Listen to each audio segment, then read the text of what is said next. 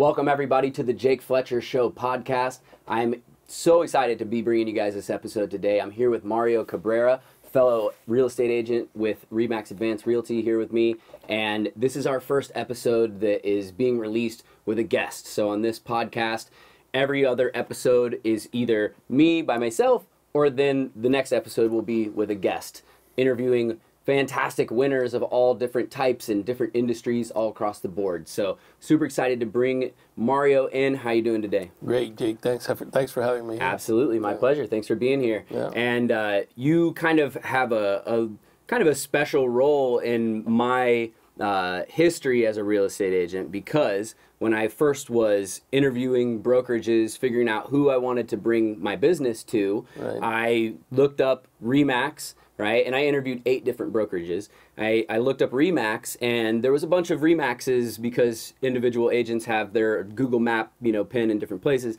So I just picked one, and it happened to be your number, yeah. right? So I, I call, I say, Look hey, you. you. know, yeah, right. so I call, I say, hey, you know, I'm, I'm uh, I want to interview the broker, and uh, you said, well, you know, I'm not a broker, but uh, well, you know, I, I, am a broker, but I'm not the broker. Not the broker. You said, well, I'm a broker associate, yeah. but you know, I can put you in touch with the broker, right. and I was like, okay, yeah, sounds good. And you were like, well, tell me a little bit about yourself. So we kind of started talking about real estate a little bit, kind of uh, told you who I am, what I'm about, what I'm right. doing, and you were like, all right, cool. You know, let me let me talk to Anthony, who's our broker, and and you know he'll get back to you. Yeah. A couple days went by. I interviewed a bunch of other brokerages. In the meantime, RE/MAX was actually the last brokerage that I went to go interview, and I almost didn't go, which is another story. It, basically, I had uh, already kind of made up my mind on another brokerage and I had something come up that day where I was like, ah, should I go make some money or go to this interview when I know I'm probably not going to join? Right. So I went to the interview anyways because I'm a man of my word. Right. And I walked out of the interview with Anthony knowing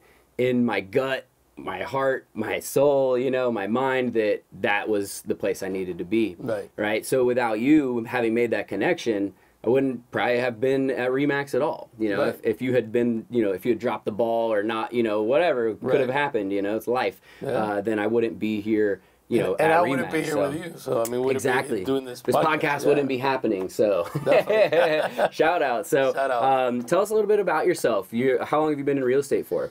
Well, I started in 1998.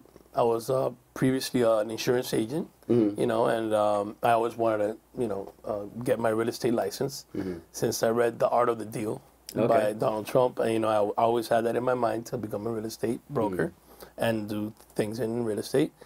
And uh, but I was an insurance agent, so and uh, when um, when the the insurance agent, uh, the insurance uh, industry changed, Mhm. you know, I jumped into real estate, Mm. and I've never looked back. So. That was in 1998. 1998, April Wow. 27, 1998. Okay. Yeah. Wow. So, what was the market like back then? How was it different compared to what it is now? Other than, of course, average sale price has probably increased a lot. the market was familiar to the 2008 market, which the market was low. We were in a in a in a, in a type of recession. The interest rates were high. Hmm. You know, properties were were very inexpensive. Mhm.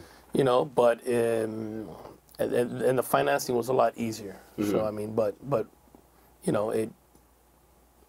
That's how the market was. Okay. yeah.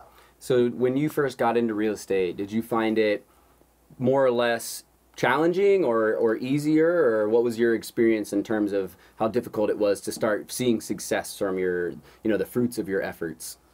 Well, it was it was it wasn't difficult, but it was it was challenging from the point where I really didn't know the business. hmm Right, I didn't really know the logistics of the business. You know, so you start off, uh, you know, wasting your time. You know, not wasting your time because you're learning as you go. Right. But you know, dealing with buyers and you know that that are not you're not answering them- you're not asking them the right questions. You know, Mhm. so um, it was it was pretty uh, difficult to start, but you know I persevered, Mhm. very consistent. I kept on doing what my mentor you know told me to do, Mhm.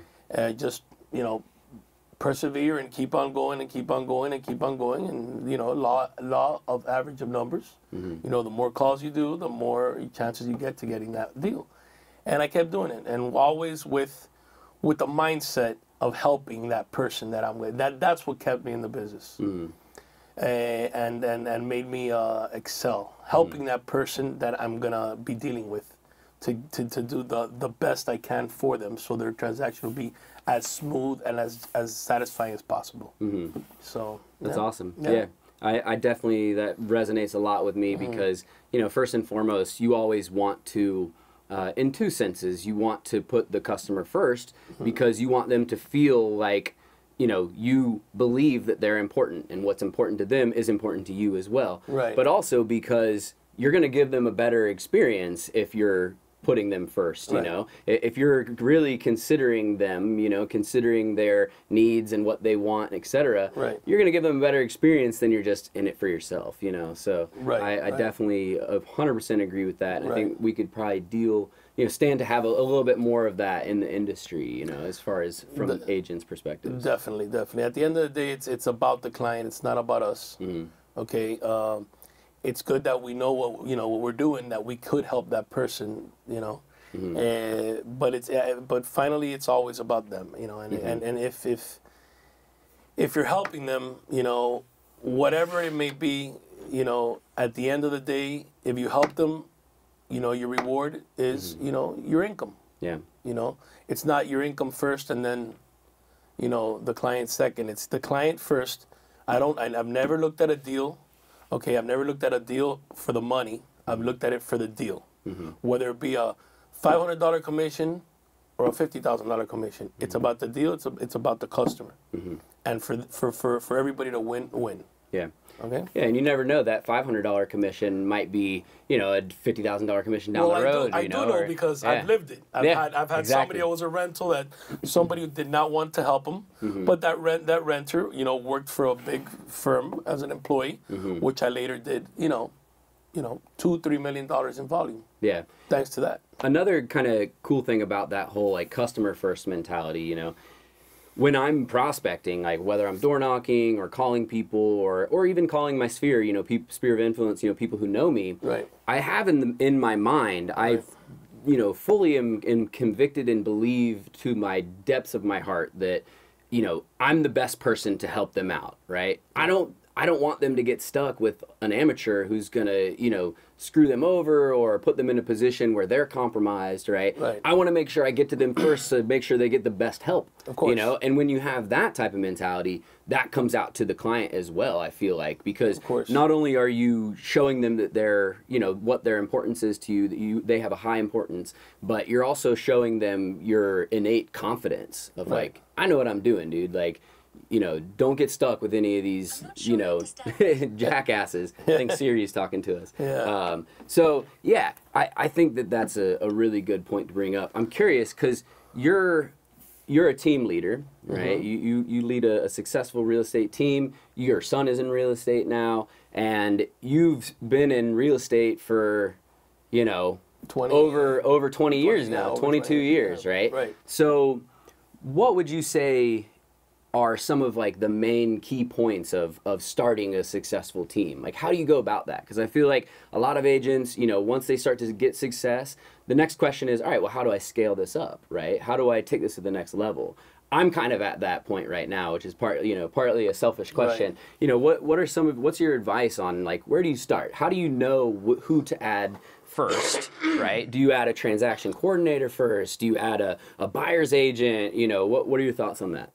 Well, you know, when it comes to the team, the truth is I don't have that structure as a as a transaction coordinator. We all, you know, work uh, toward getting that deal done and getting the best deal for that customer done. Okay, so it's more more in uh, persistence, perseverance. You know, um, it's all about you know, you know, helping that person sell the house or buy the house.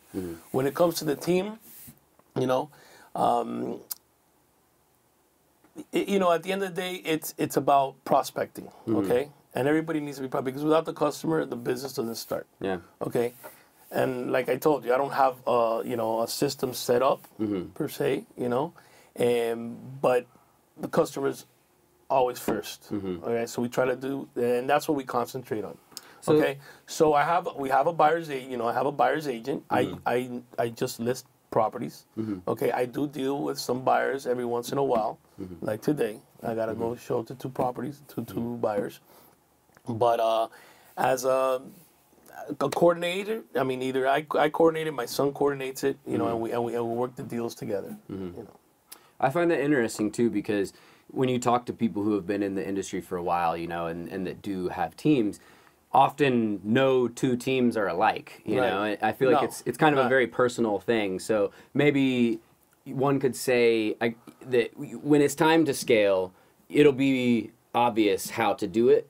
Would you say? Well, you know what? The thing is, I micromanage, Mm-hmm. and and I and I understand I micromanage in a good way or a bad in way? a good way because I want everything to be right. right. Yeah. So sometimes, you know, um, my son, you know, comes to me and says, "Look, you got to stop micromanaging." But the thing is that, as a as a seasoned agent, I see these, I see the problems in the in the in the transactions before they happen. Like I prepare for them, you know, when I'm preparing the transaction.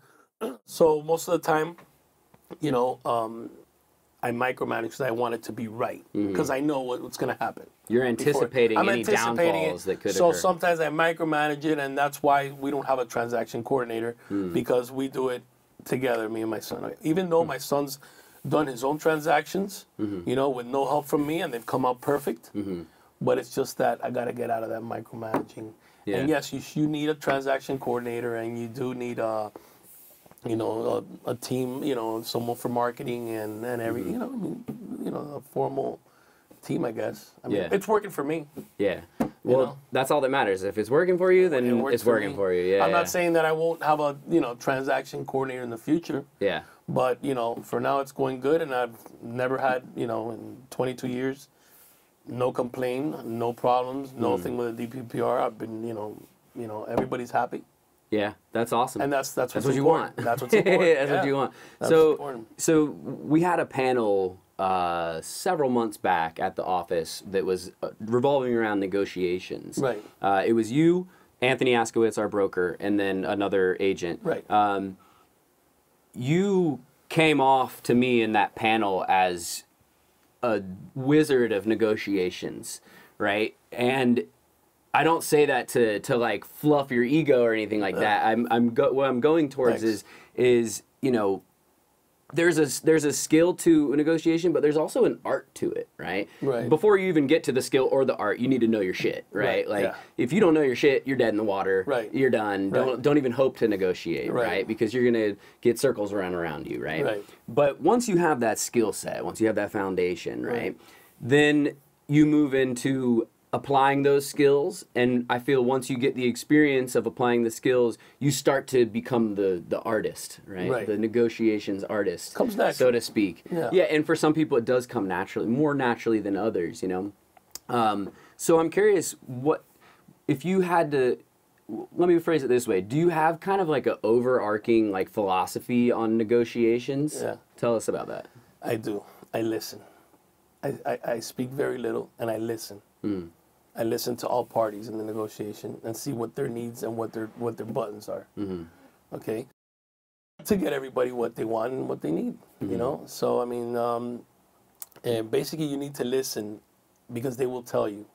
You know what what what's the next step to take, and a negotiation you really you really need to see the ending of the negotiation before you start it yeah and let me uh, i don't know how to explain that um, like visualizing what you want visualize what's going to happen what you want to happen Mm-hmm. and then visualize and see how you could take that to where you where to the end to fruition to Mm. you know, to make it you know uh, give fruit and, and be able to close the deal and everybody to be happy yeah but you, you could see it from the beginning. So when I when I do it when, for example, if I'm gonna put an offer on a property, right? I basically look at everything on the property. I even look at who the agent is. I mm-hmm. mean, with the, the same when they're gonna when they present an offer to me on one of my listings. Mm-hmm. I look at the agent. I see the contract, how it's written. I see the the oh, the buyers. I you know I try to get as much information I can. Mm-hmm. I absorb all that information, and then then instinct takes kicks in and then I analyze and then I start by there. Hmm. That's I don't know how to ex- explain. Uh, No, I think yeah, I think you did a good job of explaining it. I mean, and and how do you explain art, really? You know, art. yeah, right. I mean, I mean cooking. Like I, Yeah. I love to cook. yeah. And Take a little bit of this, a little bit of that, and know, then boom. You give me a couple ingredients and I'll prepare something, and it's Yeah. an art because I like to do it, and, Yeah. and, and I've done it, you know, since I was a kid. So That's interesting. That how you just said that you like to do it, right? Uh, it's an art because you like to do I it. I love to do it. how can you really create art if you don't even want to be doing it, right? I have no interest in like synchronized swimming, right? So I'd probably be a, a terrible synchronized swimmer, you know? Right. But if it's something that you're good at and something that you like, then you have the opportunity to take it further to that next level, to that right. artful level. So that's interesting. How many times have you, Jake, helped somebody in the in, in the business? I mean, someone um, you've helped a client, a buyer, a seller, Mm-hmm. And you feel that satisfaction, even though maybe you didn't make any money, Mm-hmm. but you helped them and you steered them in the right way. Yeah. Okay, if you steer somebody in the right way, even if you're not going to make commission, but that's the right thing for them. Mm-hmm. Maybe you know, with an old person that wants to sell a property and buy something, you know, Mm-hmm. and and they're telling him to do a reverse mortgage, Mm. and maybe the reverse mortgage is the right thing for them, depending on how do you how do you say, well, okay, yeah, you should do the reverse mortgage and step back and not make any money off it and just Mm. keep it as if that is something that is satisfying to you, then you're in the right business. If you if you if you're not in this business to help people, you know, and to get have their best interests at heart, you should get out of it. Mm-hmm. You should get out of it because people could see right through you. Yeah, hundred percent. People can, even little kids can smell fakes. You know, Yeah, when you're you not know? authentic, you know, And, you know, even animals can pick up on that. I mean, I'm, I'm sure if you're not authentic, you're not. You can make a lot of money, but at the end of the day, it's, is it, is it, uh, is it satisfying? To Yeah. me, my business is satisfying. Or are you giving the customer the best possible experience? Are they really ending up at the end of the, you know, the transaction in the absolute best possible way that they could have if you weren't authentic throughout the process? Yep. So yeah, I feel you on that, hundred percent. You know, going back to what we were talking before, a lot, of, a lot of times, a lot of times, uh, you know, you say the customer, you know, in other businesses, say the customer's always right. Mm-hmm. Well, in real estate, the customer is not always right, but the customer is 1st Because sometimes what the customer wants, uh, what they want, is not the same as what they want to do. Okay, so when they want to get to an to an end, it takes a certain means to get there, and it's your job. That's why I see sometimes, you know, I see, um, you know, agents and and and and the customer tells them what they want, how to price it, what the commission, what this, what that. Well, it- what's the agent there for then? Yeah, You know, uh, you're just a what- lap what's- dog. what- yeah, you're just a lap dog. Exactly. You're like, just taking orders. You're not necessarily doing what's best for them. Exactly. You're just doing what they want you to do. And what's the first question you get when you go to a listing presentation? Uh, usually, it's going to be what, how much is my house worth, or you know, what, what is, you know, Okay, what are we going to put it on the market for? Uh, will you reduce your commission? There you go. Yeah, Right. And you and you know what happens? Most agents, the first thing they do is yes, they yeah. will. Please, just But hire that's me. the first question they that's the first Yeah. question that a, seller makes. Mm-hmm. Okay, why? Because they don't understand that there's a lot more intricate Mm-hmm. logistics to a to a real estate deal. yeah, And now we're going into the real estate deal that we were going to talk about. yeah, And um, it takes an experienced agent, okay, to to see every single step of that deal yeah.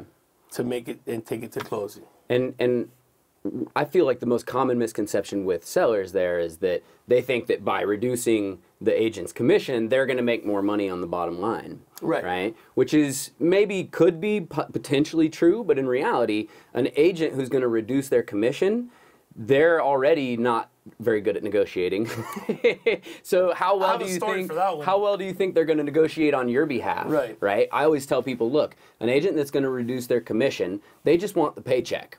When the other agent calls them, the buyer agent calls them and asks them, you know, what's the bottom line? They're going to spill all the beans because they just want to get the job done. And, and, right? and we love those agents. Right, because We they love. They make it easier for us it easier to for us. step in and, and, Step in and get- wow our customers and yeah. Exactly.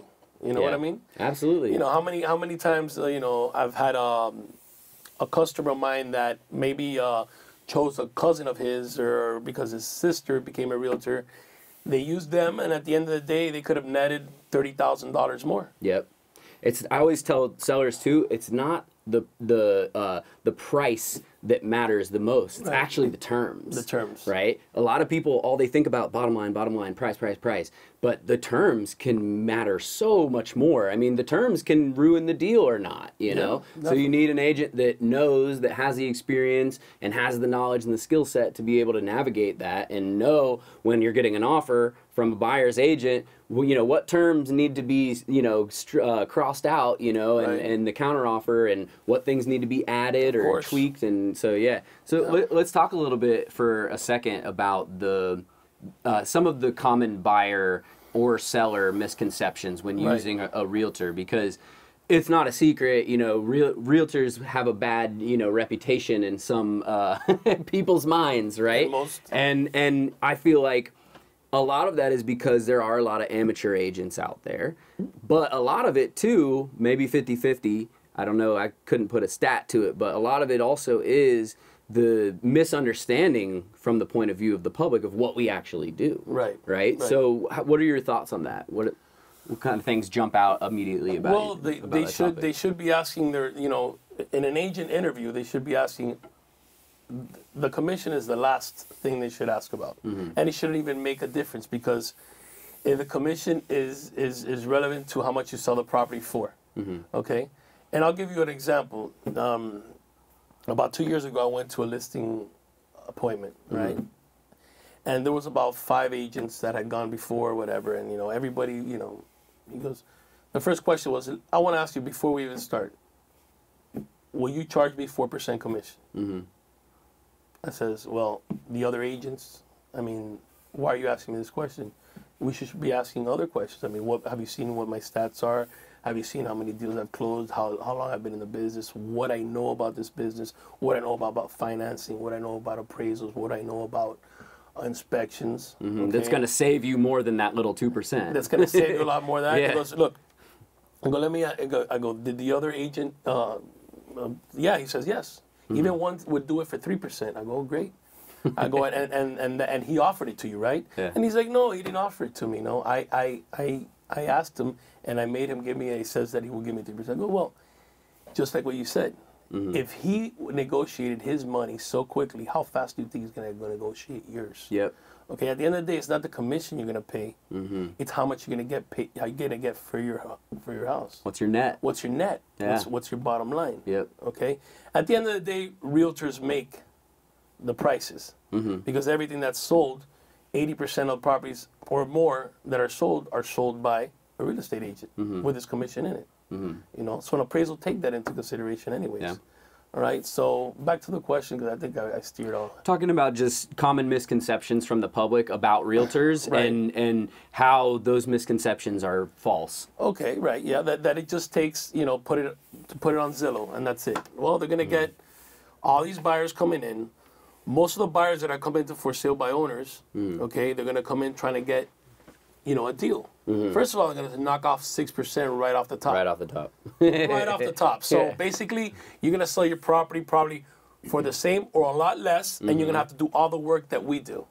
I, in most cases too, I think it's 95% of for sale by owners end up listing with an agent too. Of course. And that's something a lot of them don't know, you know, like and and that other 5%, a, a hefty percentage of that 5% Right. just take it off the market altogether and don't sell. It's, Right. it's not that 5%, you know, end up they sold it by themselves. It's more like 1%. And then 4% of it are just like, yeah, we were just kind of testing the market. You know, our house is worth like 600,000, but we want to see if we could get a million for it, Right. you know. so that's another misconception I Yeah. think is a lot of sellers, you know, you have a lot of emotion in your home. You, Right. you know, your kids grew up there, your family, etc. And, you know, a lot of sellers I think mistakenly believe that that adds some kind of intrinsic, you know, monetary value to the Right. home. But the buyer, you know, not to sound crass, but the buyer doesn't care that your kids, you know, Right. grow. they they don't care about you know all the birthdays and like they're buying it for themselves and their family, you know. So Right. that's why the the realtor's job of figuring out that market value. That's that's the most important thing. Is not what the seller believes is the value. Right. The buyer buyer's not paying that number. If they were, then we our commissions would be a lot bigger right, right. every time. So I wish it were the case, but you know, Yeah, And going back um, to the what the logistics are of a sale, right? right? When Mm. the property gets listed, first of all, you got to prepare the property. right. Okay. Then you gotta you know do all the marketing for take the correct pictures. Mm-hmm. You know, the video if you're gonna take video. You know, you gotta prepare it. You Yeah. know, and then you gotta take it to market. All right, you gotta take it to market. But then there's once you get a contract. Okay, Mm-hmm. let's say you get not a contract. Once let's say you get five offers. Okay, Mm-hmm. first of all, you gotta see which is the best offer. Mm. Okay, you gotta you gotta analyze that offer. Look at the inspection period, The, the closing day, closing commitment. Additional period, terms are always additional fun. terms. you know, a, Yeah. you gotta you gotta look at uh, the, the the offers as a whole, not Mm-hmm. just look at the price and then accept. Okay, so once you get into a contract, Mm-hmm. then the first step is inspections. Okay, one of the good questions to ask your realtor is, do you go to inspections? Mm-hmm. All right, you should go to inspections. Yep. Inspections Okay. and appraisals. Exactly. The second one is the appraisal. Okay. Does your does your uh, realtor go to appraisals? You know, unfortunately, every appraisal is different, and ev- and every appraisal it's it's an opinion of value. Yep. Okay. It's another art. It's it- Science mixed with an art. well, yeah, good, some Yeah. good, some bad, but Yeah. but they you really need to have a realtor that knows. Mm. Okay, first about the inspection, Mm-hmm. and second about appraisal. Why? Why? Because uh, some, you know, sometimes an appraisal can misrepresent or not have the correct information, Mm-hmm. and you knowing the house. Okay, knowing the correct square footage and why they need to use the correct square footage, Mm-hmm. what type of prop, what type of property is it, and what condition it's in. Mm-hmm. Because if it, you, you cannot, you cannot appraise a property and use, uh, and not adjust for a property that's completely brand new, and it's never been lived in. Yeah. I mean, well, completely remodeled and it's never been lived in to Mm-hmm. one that's completely remodeled and it's been lived in.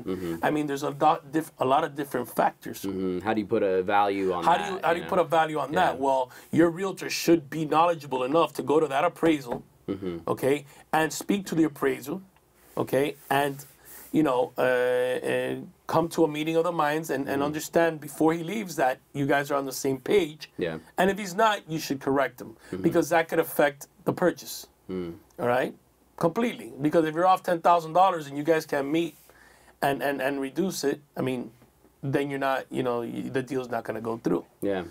Then the other one is Unless the- it's a cash deal. right. Yeah. Okay, the problems you come up with uh, with uh, with financing, Mm-hmm. you know, with uh, permits, you know, with uh, Liens. square footage, liens, you know, uh, title problems. You know, uh, there's so many different factors, and I'm gonna send you later. Uh, uh, this uh, thing I wrote one time It was on uh, 184 different things you should you should you should uh, consider before putting your property on the market that a realtor can do for you and that you can't do for yourself. Cool. Because there's a lot of things that we do. Yeah. Okay. Another thing, you know, ask your, you know, ask your your realtor when, when someone asks you, uh, you know, what the what the price or my motivation. What do you say? Well, you you, you shouldn't say anything. You shouldn't say anything to hinder a price reduction or to hinder the negotiation. That's why negotiations is so important. So what do you? You would literally just be silent. Silent. Like I'm the buyer's agent. Oh, hey, what's your buyer's motivation? How motivated are they? Well, they're as motivated as uh, let's see the offer that you have. Once you when I see the offer, I'll tell you how motivated they are. Yeah. Uh, My my response is well, it's on the market. Yeah, it's on the market. Yeah. Yeah. Well, you, you think you priced it right? Well, you know, uh, like Hazel said the other day, he goes, "You think I priced something Mm-hmm. Yeah. wrong?" That was That was such She's- a good line. Awesome. man. She yeah, this was a top Yeah. producer in our office. Yeah. She's been in the real estate industry since the Cretaceous period. Uh, no, no shade. I was six She's years old. awesome. Yeah, she was. She said, "Do you?" She was. This is her response to the buyer's agent. Do you really think I would waste my time and put it on the market if it wasn't worth nine fifty? Right. it's the such a good is that, line. that a lot of agents are so accustomed to the guy mm-hmm. on the other side saying, "Yeah, bring me an mm-hmm. offer." They're they're desperate. They want to move here. They want to move there. Well, you know what? I don't I don't give that information. Yeah. Because I owe my client a fiduciary. Yeah. which I own, you know. Yeah. And and, and, and and if if I do say anything like that, then I'm hindering the best price possible for that property. Yeah. Exactly. You know? Hundred percent. And you're doing nobody a favor except for the other side. Yeah. So Yeah. you already messed up your negotiation. The guy on the other side is setting you up, Yep. and you don't know it. Yeah. What about inspections? Why is it important for a realtor to go to the inspections? because inspe- because they will they will go to the inspection, get the inspection done, and then come back to try to get a credit. Mm-hmm. Okay, and you need to be there. I, I, I'm gonna tell you a story that happened to me Let's go. about a year and a half ago, mm-hmm. and that this will shed some light on it. So I was I was away, okay, I was away, and I I, I did not go to that inspection. Mm-hmm. Okay, I was about to get back, but they had to do the inspection. They had to do the inspection.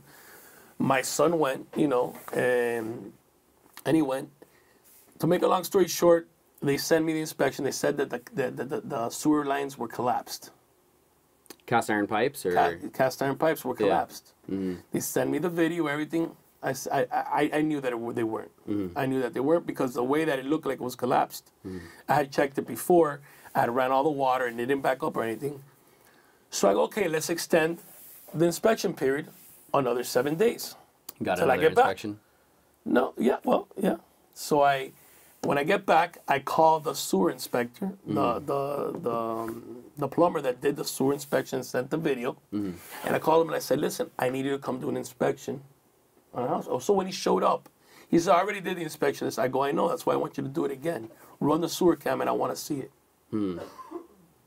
Well, he got back in his car and he left. Okay what they did was then I then I had another sewer guy go out. Okay, he actually didn't want. He was he was not going to do the sewer. He didn't even do it. He says I already did it. I'm not going to do it. He got in his car and left. Why? Because he had sent them another video of another property that had a that, that had a collapsed drain. Wow. So when I sent mine, Shady. I paid for my I paid for it. I paid the three hundred fifty dollars. Uh-huh. Okay, and the, the the sewer inspector because it was it was an older lady. Mm-hmm. You know, she didn't have much money. She couldn't pay it, so I paid it, and we we did the video, ran the video, and I called the realtor. I go, listen, you know what you just did. You know what you did. You know, so we're gonna go. You know, basically we went through the deal. Nothing was paid. They wanted a five thousand dollar credit for the collapsed, you know, drain. it So costs way more than that to fix it anyway. if, if I would, if I would have been at that inspection Yeah. that I wasn't, when he would have found that collapsed drain, I would have told him show it to me on the camera. Mm-hmm. Yeah. and we would have gone through that. that- Yeah. that that problem. wow. So that's so important to go. Yeah. Just like termites, you know, I've had a, a 2014 home Yeah. inspection, and the guy come down and say, "Look, I found termites." I go, "Show me where you found the termites." Hmm. And there wasn't termites; it was in their pocket. Unfortunately, he, it my dude planted termites on the scene. yeah, that's so wild, man. we're in Miami. Yeah, that's oof. it's the wild, wild west. And I can go here. through. I can go through, through so many. I got Let's do it. So stories, I. I like the anecdotes. So let's let's continue through the steps of the deal Right. and any anecdotes and, and funny stories, crazy stories. Just you know, throw them out on the table. So what comes next? What's so we've already we've negotiated a contract, right? We're we're under contract. Right. The effective date has passed, right? Where everybody has signed and agreed that the terms on this sheet of paper, we're all good with this, Right. right? So inspections, right? Appraisal. What happens next? well, we're waiting for closing, title to be done, and then forget it, clear to close from the mortgage company, so we get close. So what happens in that mortgage process? If if the buyer needs financing, it's not a cash deal. Let's say they're they're financing FHA, Right. Right. So um, let's say it's a four hundred thousand dollar house. They're financing three. I don't know, 340, three, yeah, three, yeah, something like that, inconsequential. Mm-hmm. But what happens during that process? If you're representing the buyer, Right. What, uh, or we can do both sides, buyer or seller. What is your role as a realtor in that process while the buyer is getting that financing? Make sure we get a real clear to close Mm-hmm. with no contingency. I mean, with no no no no steps left, no no uh, conditions, Mm-hmm. an unconditional commitment, right? Before the commitment date is out, before that commitment date expires, Mm-hmm. because once you pass that commitment date, you go hard on the contract. And if, if you don't, if they don't qualify for the loan and they can't close the loan, they could lose their deposit. Okay, so basically, if I'm representing the buyer, I'm gonna make sure all the timelines are in order to protect my client. You know how many times I've been at a listing and they call me three days after the commitment day. Listen, Mario, we need an extension because uh, they have a problem with the financing. This and I go, look, you're out of your commitment. Mm-hmm. Then you pressure. You, there's pressure for that other agent to get the mortgage broker to get things done quick, mm-hmm. and then you know. So I mean, you you really need to be on the timelines. You know, mm-hmm. you need to be calling the mortgage brokers. You need to be calling the title company. You need to be doing all that As a selling agent or the listing agent? as a, as a selling agent. Yeah. As, as no, as a selling agent. Yeah, as a buyer's agent. Mm-hmm. Okay, you need to be doing all that. yeah. You know. So yeah, What about as a listing agent? as a listing agent, as a listing agent, it's the buyer's agent's mm-hmm. responsibility for the timelines. Mm-hmm. I'll let I'll let them you know ride the different you know dates mm-hmm. because some agents won't do what they need to do, and then you have leverage, and that's part of the negotiation. And that's part it. And, and I'll tell you what, you want to hear another one? Lay it on. I had this guy, and if he, ever, if he sees this, he knows who he is. But he presented an offer on a property in um, Palmetto Estates. By the way, it's one of the, the highest sales in uh, Palmetto Estates. It's for Anthony. Um, well, yeah, per square footage. But um, this guy presents an offer, you know, and he presents an offer com- conventional, right? So when I he presents the offer, there was multiple offers on the on the on the on the property. So I asked them to send. I send them. You know, I asked for the DU. You know, you don't have to send the DU, but if we have multiple offers, we want to see the DU. We want to see what the real deal, what the real uh, you know uh, mortgage approval is, right? So when I looked at the, at the debt to income ratios, it, it it didn't look conventional. What's debt to income, just for people who don't debt to income ratio is what your what you make in the year uh, compared to your liabilities. So basically, Your car payment. your car payments and all that. So when I when I looked at that DTI, I, I, I immediately knew that it, it could it couldn't be conventional. It mm-hmm. had to be FHA. Mm-hmm. But I let it ride mm-hmm. because we already had the you know we were, we took the contract. It was the best contract, you know, and you know all over all, overall terms. And when the appraisal goes, I go to my appraisals. So there was a broken tile. So then I tell the appraiser, hey, listen, is this going to be a problem? This broken tile? And he says, well, it is a FHA appraisal. Mm-hmm. So the prop, so the so the purchase was an FHA purchase, but they represent it as a conventional. on the contract. Yeah, and mm-hmm. that breaches the contract. Yep. Okay, Because on the contract, you have to specify which type you of have to specify. Yeah. It's okay if you could switch it within your commitment date. Mm-hmm. Okay, but not within. You know, the commitment was almost done. So I tell the guy, okay. So the appraisal comes back, and he says, "You're seven thousand dollars. You know, we're seven thousand. We got a problem. We're seven thousand dollars below." Mm-hmm.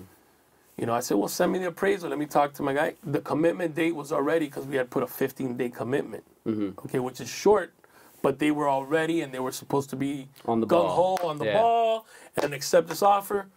Well, you know what? To make a long story short, they had ended up paying seven thousand dollars extra for the for the property. And they were contractually obligated to Contractually do so. obligated because they would have lost their deposit. So what does it mean when you say the appraisal was seven thousand under? What does that mean?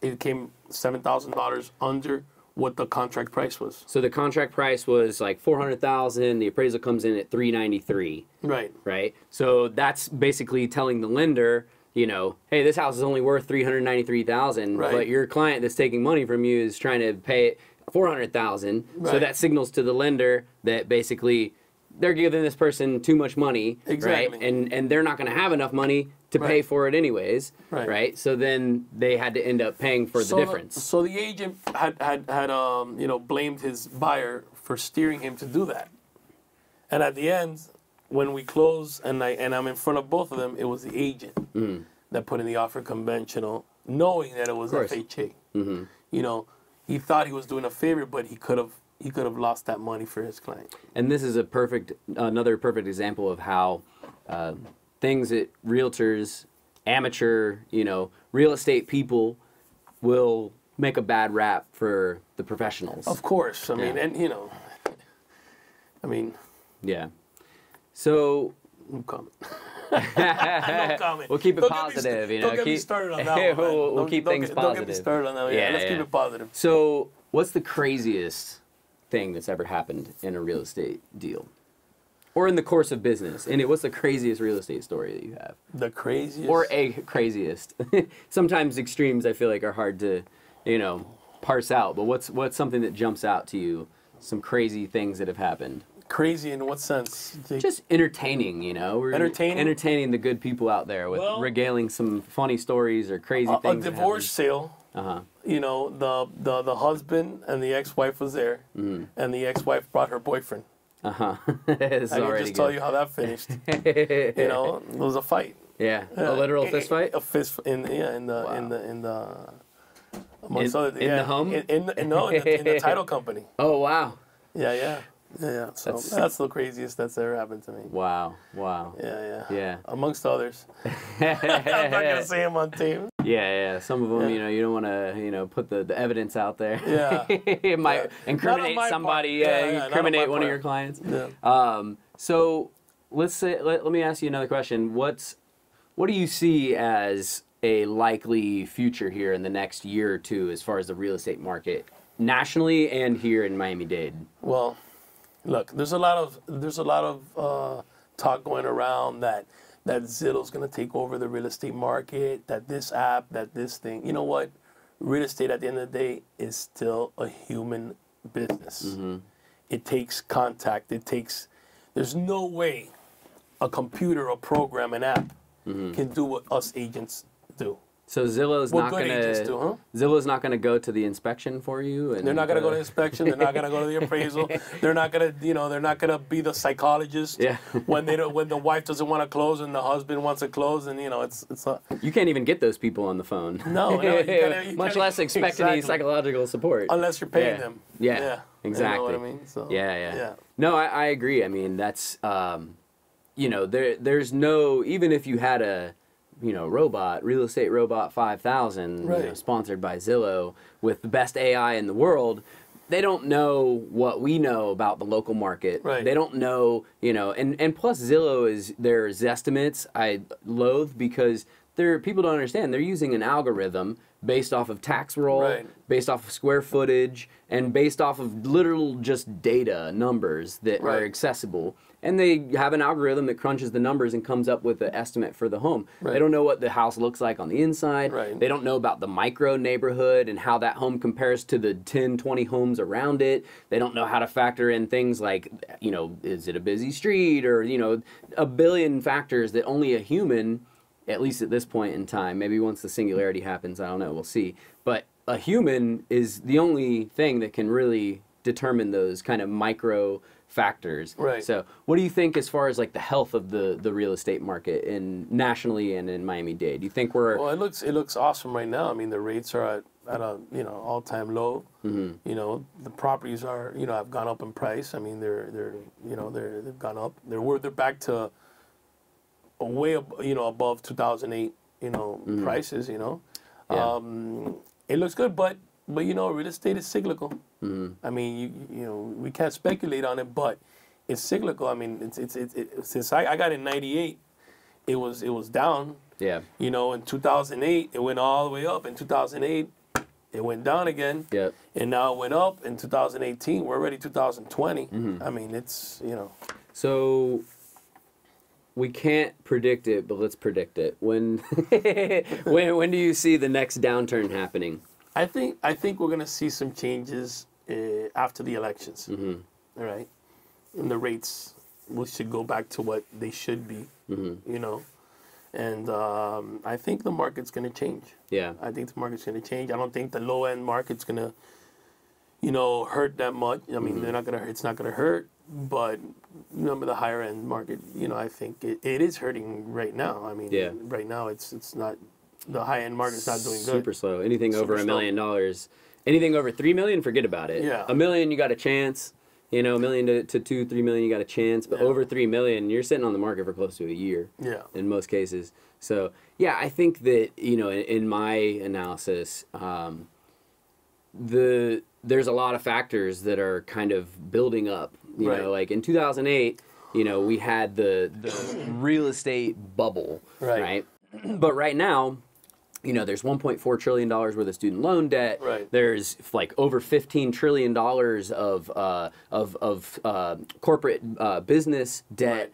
There's, you know, we have an auto loan bubble, we have a credit card bubble, we have, you know, a lot of signs pointing towards um, more inflation than what we're currently, you know, always used to experiencing. Right. Uh, you have a lot of funny business going on at the Fed, uh, you know, pumping funny money into the economy, artificially keeping rates low. So I could keep going on. That's like Yeah. seven things right there. Right. So do you think that, and I agree that after the election is definitely more, you know, they're going to Things are pump to stabilize. they're going to pump as much funny money as they can until that election's over, you know, Right. at the Fed, and maybe afterwards too, because it's of course in everyone's benefit.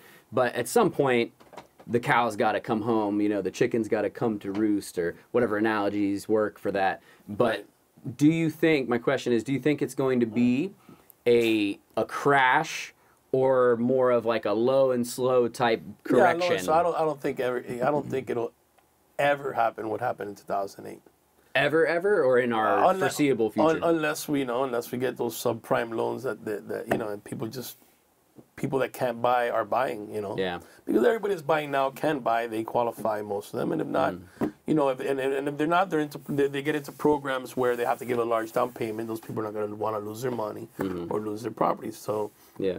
I don't think it'll happen like that again. Yeah. I mean, for a long time. I agree. I think it's going to be more of a low and slow burn, but I think when we do see the downturn, I think that it's not going to be like two, you know, 2006 was like a oh shit moment, right? And then like 2008 was the trough, right? Right. And then 2009, 2011, it was still kind of trophy, but it was starting to correct back upwards a little bit. Right. By 2013, you know, like some places in the country, uh, average sale price is higher than it, even what it is right now. Right. You know, and and so it was, you know, took a few years, but it was in the grand scheme of time, kind of quick that Right. things bounce back. What I think we're looking at, correct me if you or if you feel differently, is I think we're looking at a type of scenario that's going to last a lot longer. I think we're looking at at least close to five years once we reach once we reach a point where we've hit a trough, so to speak. I think we're looking at four to five years before we're back to the kind of market activity we're seeing now. What do you think about that statement? Um, Repeat. Repeat. eh, Make So- yourself. Just give me more clear what you want. So I think it's going to just basically take a lot longer to for the market to recover, thi- recover. this time than it did last time. Uh, yeah, I think it's just gonna be a stable, you know, uh, you know, it's gonna, it's gonna, you know, level out. It's Mm. gonna be stable, you know, for a while. And I mean, it's all mindset, Jake, Yeah. man. Really, I mean, it's, it's, it's, it's mindset. When people start getting worried, I mean, because the interest rates have gone up, and now I'm gonna wait, and Mm. or, or the interest rates are going up, and I'm gonna sell because God knows what's gonna happen, and this Mm. and that. It's more of a mindset that fuels the, the, the, the downturns and the upturns The psychological, psychological side man, of right, it all, right. hundred percent. But what happened in 2008 is, is a different. Yeah, We can't even compare what we think might gonna happen or what's happened in the in the past. Yeah. Because what happened in 2008 yeah. was just Which is funny because people always, like not always, but a lot of people have a tendency, like it's called recency bias, Right. you know, where you think that, oh, you know, th- that's how it was last time, so it's going to definitely be like that this time, you Right, know, right. Yeah, which is, you know, not necessarily. There's no fact. There's no, Right. you know, there's no evidence that it says it that it's going to because be the same- exactly the because because the logistics are not there same. Yeah, as they were in 2008. The things that were happening in 2008 are not happening now. yeah. Okay, so you know it's it's not gonna happen like that. I mean, Yeah. to me, but So where can anyone viewing this video find you? Social media online. MarioCabrera.com. MarioCabrera.com. Or Real Deal Miami and Instagram. Real Deal Miami Instagram. Awesome, awesome. Any final words or things you want to impart on the listeners and viewers? Yes. When hiring a realtor, interview them, ask them. Ask them, you know, who they are, what they do, you know, what, what their experiences are, what their their their their knowledge is, you know, because they're going to help you make one of the biggest decisions and help you, you know, probably sell your highest, you know, uh, you know, your highest investment that you have, which is your home, you know, and it, it's very important that you pick someone that you're first comfortable with. Second of all, you know they're gonna do the right, the right thing, okay, and they they have knowledge because you're gonna sign a six month contract with them, and you're gonna be married to him for six months, okay. So yeah, uh, you know, just like you know, just like if you're gonna go to um to a doctor to get a brain surgery or surgery, whatever it may be. You know, you're not gonna do. You're not gonna go see the one that does it for the cheapest The discount brain surgeon. The discount, or your or your brother that just got his. Uh, he just came out of school. Right. You know, so uh, real estate is the same way. You know, there's there's a lot of agents out here that know what they're doing. You know, that can help you. That can make you know your your experience very smooth. you know, very smooth and uh, a rewarding uh, transaction, and um, interview them. And and, and, and and and you know what? One of the great things is you could go on Zillow now. That that's our resume. You can mm. just go on Zillow and see who we are, what we do. Mm. You know, there's no there's no trick to it. You know. Not to tout Zillow, but yeah. Huh? yeah, you know, Zillow's good for something. Yeah, yeah, yeah. Like. Well, hey, man, it's been fun. Thank you so much Great, for Jake, coming. thanks for having me, bro. Yeah, absolutely. It's a pleasure. And uh, Always, everybody out always. there, if this is your Thank first you. video, make sure to hit the subscribe button so you can keep getting this juicy content. And uh, yeah, the Jake Fletcher Show, first guest interview in the books on the record. Hope you guys enjoyed. And we'll see you on the next one. Sell smart, buy bold. Take care. Peace. Peace.